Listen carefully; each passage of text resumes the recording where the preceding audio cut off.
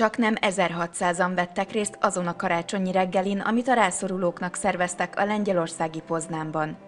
A rendezvényen a fedél nélküliek mellett ukrán menekültek és olyanok is részt vettek, akik egyedül töltenék az ünnepeket. A Poznani Nemzetközi Vásár épületében a koronavírus miatti két év kényszerszünet után tartották meg ismét az ételosztást, ahol 400 terítékkel több került az asztalra a korábbi évekhez képest. Lengyelország több városában szerveztek hasonló eseményt, például Katowicében és Vucsban is.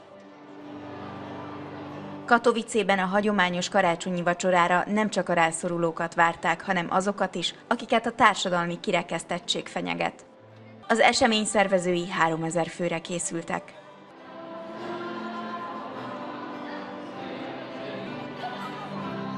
Vucsban idén megint együtt ünnepeltek azok, akik egyébként egyedül töltenék az ünnepeket. A szervezők azokra is gondoltak, akik nem tudtak elmenni a karácsonyi vacsorára, Hozzájuk száz önkéntes vitte el az előre összekészített csomagokat.